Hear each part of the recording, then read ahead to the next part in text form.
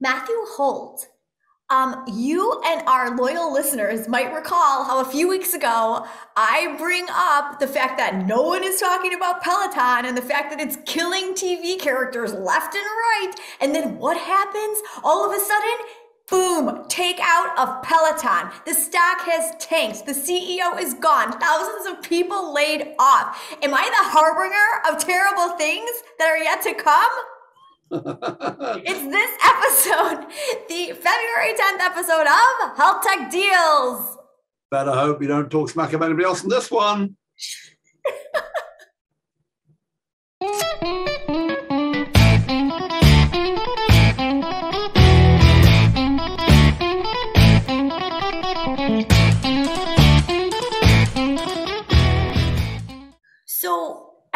May have been a point where people wanted to be mentioned on this show, and now I don't know. okay, so we'll work on being very nice. uh, not calling out anybody for you know killing off their characters on TV. I can move markets, Matthew. It's actually kind of funny, right? Because the whole article that was written by the the investor who's really pissed off with with the guy with the CEO Peloton was all about how that guy was you know he was delegating. He said, "I don't understand what the CTO does. I delegated to him. I don't understand what the uh, I don't understand what the uh, operations person does. So I just delegate to her." And you know, he's cashed out like you know hundreds of millions of dollars. So on the way down, to some extent, it's not exactly his fault that the market got so crazy, overvalued all these stocks, you know, so crazily. Uh, and got ahead of the skis. And it, you know, there's not much you can do as a CEO if the market's going crazy, right? On the upside, all you can do is do your business. There was a long uh, discussion about what could the CEO of GameStop actually have done other than what he did do, which is sell a bunch of, you know, which sell a bunch of or pay off a bunch of their debt by selling stock, as did a, as did um, AMC and much of the others, right? So when yeah. their stock went completely crazy, you know, you take advantage of it, but it's kind of the stock is kind of out of your control to some extent. Yeah, I mean, maybe they but what's interesting about the CEO of Peloton here, it's like they're painting this whole story as like this is a case of like a founder who didn't know when to walk away. Like that's like the, the thing that I heard on the news this morning was all about that. And like they're interviewing people about like, oh, you know, you've got to learn when you've when you've gone beyond yourself. And oftentimes the entrepreneur who founded the company doesn't realize when this is happening. It's like and he's not really even going anywhere. He's actually got a promotion. He's the chairman of the board now. well, yeah, they really took it away from him. But I mean, he also walked off with several hundred million dollars, right? So, uh, you know, which I mean, you can all get pure about the fact, well, you know, people shouldn't just sell when the stocks at the high of the market. But but on the other hand, you know, uh, well, isn't that the point? Wouldn't you do that? I, I mean, low, sell high. you know, we, we, we, you and I, well, I personally perfected. No, you buy high and sell low, but I generally try to go buy low and sell high. All right. We're talking about buying and selling. Yeah, M&A get it. Still, oh my God, there's so much. All right, you ready? Mergers and acquisitions, baby. Let's do it. Signify Health acquires Caravan Health in a deal $250 million combination of cash and stock. This one's very interesting to me. It's a big, it's a big, uh, it's a decent size acquisition. Signify's valuation, you know, it's down like everyone else, but only de- it's not down like in the in the gutter. It's about a quarter of where it was at the, at the crazy highs, and it was worth about a couple of billion. So it's not a huge acquisition, uh, but they do both the home care stuff and they have their you know prospective payments, pay, um, risk value based payment management side. And Caravan Health does a bunch more of that stuff, right? They run a bunch of ACOs and all stuff. So it's an, a nice extension. Caravan Health's got a bunch of ex CMS people in their management team, which will probably help uh, given what CMS is about to do with direct contracting and uh, and Medicare Advantage. So it's probably it looks like a nice tie and a nice tuck into what they're doing. And you know, uh, your friend Kyle Armbruster there is not dumb. And uh, guess who the big backer still a Signify is?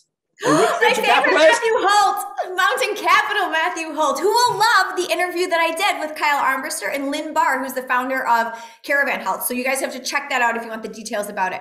All right, Koneska gets 45 million in a Series C. What do they do? Yeah, they do a bunch of biometric measuring stuff for clinical trials. Came out of Merck a long while ago. I actually did early stage consulting with these guys eight years ago, seven, eight years ago.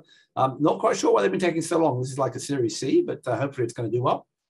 Cancer navigation company Jasper Health gets 25 million in a Series A, brings their total up to 31. Yeah, this is uh, Adam Pellegrini from uh, CVS Walgreens, a bunch of other places, and Greg Orr from Walgreens and CVS. I can't remember which one. They're well working together. Uh, really, really, I, like I like this one a lot.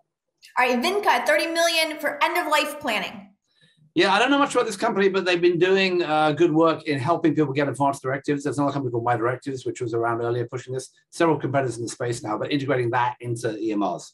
And Doximity acquires Amion, which is a scheduling app. The big news here is about their Q3 earnings. Yeah, Matthew yeah. So, Holt. First of all, this acquisition, 82.5 million. This brings like a scheduling thing for doctors into their whole little portfolio. But talk to us about that and those Well, Q3 earnings. So it's pretty clever, right? So Doximity, you know, it's got all the doctors in the world on its system. It's, it makes most of its money selling drug adverts to them and marketing on behalf of the pharma companies. But during the pandemic, they picked up a lot of activity, both for those individual doctors and for enterprise doing telemedicine, telehealth.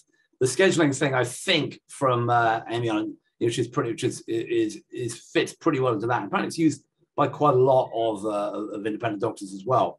So uh, that's you know that's where it came from. But I mean, the real big news is yeah, the, the earnings are up, you know, nearly 100 percent on the on the way to you know nearly 100 million, 97 million, 67 percent year on year increase. I mean, they're going back gangbusters still. Well, after even though the stock is well down, or the stock is up about 25 percent today, and uh, their margins, their net margins on that, they're like made over 50 million dollars. They're making, you know, everyone else is losing money. They're like EBIT is like 45 percent of revenue. I mean, uh, I don't know. You know, um, Jeff Tangney should be giving le- lectures to the rest of the digital CEOs on how to make. Apparently so.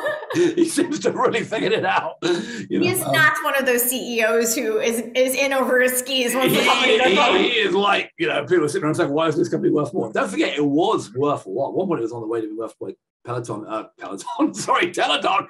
Talk about companies which have come down off their highs. Yeah, uh, it was down last week. I should have bought some. Hmm. No, I've Again, always thought, uh, uh, to my credit, low, to my high. secret, to my secret credit, when uh, Venrock used to send around that you know uh, questionnaire to sort of the digital health crowd, like me, and say who would you like to buy and have an I- IPO, I always put down Doximity. Don't forget they were the ones who raised all that money from Rebecca and at Canvas and never spent it. Basically gave her a massive present. Yes, you can buy a bunch of our equity. We'll never touch the money, and then we'll give you the equity, which is worth 20 times as much. So, uh, yeah, uh, you know, super well run company. A lot of people, yeah, still a lot saying I never use it, but you know, it clearly advertising, uh, clearly the, the the people who do use it in terms of the customers are they're liking it. Never underestimate the value of a micro audience of niche people, right?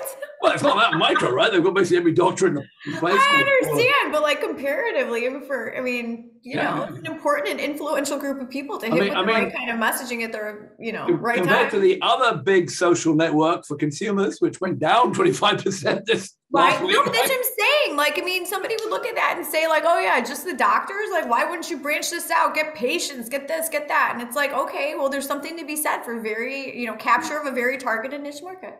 No, it's uh, Like those who watch health tech deals. yeah, our niche market may be even smaller than Doximity, you know. All we need is one person to sponsor that timer rooster. I'm secretly hoping it's Mountain Capital, Matthew Holt, who decides to do it. And then, and then, And then, uh, you know, and then there's a replacement. we can under- welcome in the Mountain Capital uh, timer rooster. Wouldn't that be nice? It would just be nice if there was some identity mix up and I got his bank account. That's all. It would be nice if that happened, and uh, you know, maybe yeah, he- maybe he can sit in that chair, and I can talk to him a couple times a week about funding deals. yeah, Yeah. like the uh, I could be like the guy who st- who's, who stole uh, four four billion dollars in Bitcoin with his wife. Who's all over social media, just got arrested. Oh that? my god, I saw that. I'm like, I'm waiting for this whole like stupid mini series that tries to position them as like a modern day Bonnie and Clyde dealing in Bitcoin. Like, oh my god, like please. Uh, uh, all I know is if I stole four billion dollars in Bitcoin, I think I hope you would help me disappear. All I could actually think of was the time your Bitcoin got stolen. They did. Uh, although know, and I was like, st- you they stole like someone stole half a Bitcoin off me. They stole, or someone helped them steal, or whatever. They had the keys to like thousands of bitcoins. I know half that, but it was like the time frame was similar to when you lost your Bitcoin, and I was like, I wonder if you were a part of this. maybe, maybe I am. Oh, well. All right, she's gonna out of here. Yes. Well, to donate bitcoins to Matthew Holt and I, find us over there on Twitter. He is at Bolty Boy. I am at JessDaMassa. And go ahead, let me see you point at I the have to side. point better because last time I didn't point Thank you. well. That- Last time he pointed at the sign for the podcast audience, it was the most lackadaisical point you've ever seen in your life. this time now, at least, oh, look, it's two different kinds of pointing to the banner behind him that says the healthcare blog, where you can find the email newsletter link and subscribe to it so you get the best of the blog and these health tech deals episodes delivered right into your Very good. Very and good. this week, WTF Health podcast coming soon. Coming soon. I mean, no, it's coming. And I had two big news stories. I got to talk to um to, to Steve Gutentag from 30 Madison about his merger with Nurx, and then Kyle Armbruster today with the merger with or the acquisition of uh, Cat Caravan. So yeah, exciting stuff all, all, over, all, all over it. All over it, Jess. All right, Getting let's it. say goodbye though. Bye, everybody. Talk to you soon.